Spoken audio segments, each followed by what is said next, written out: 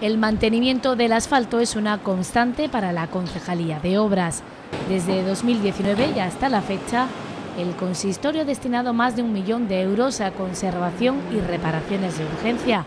Pero ahora toca llevar a cabo un plan más ambicioso para aquellas vías que sufren mayor desgaste, sobre todo después del verano, cuando se produce una mayor afluencia de vehículos. El plan está dotado con 3 millones de euros garantizar la seguridad de los peatones y de los conductores que, transitan por nuestras carreteras. Es verdad que, siempre con el verano y la gran cantidad de personas que vienen, la ciudad se deteriora mucho más. Hemos tenido algunos años con COVID que no había tantas personas en las calles, pero sí que ha habido, sí ha habido trabajo de mantenimiento, como no podría ser de otra manera, pero que la gran afluencia de personas, unido a las fuertes lluvias que cada vez vienen con más intensidad, hacen que se deteriore muchísimo el asfalto.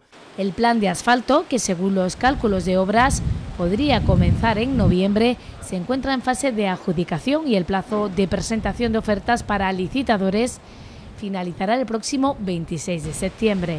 Entre noviembre, diciembre, enero, febrero y marzo esperamos tener estos trabajos totalmente finalizados. Como todo el mundo bien sabe, el asfalto es algo que, se deposita, se extiende de manera muy rápida. Hemos querido coger esos meses porque son los meses que menos afectan también al turismo y al comercio, entendiendo que en apenas, como digo, cuatro o cinco meses podamos tenerlo todo listo.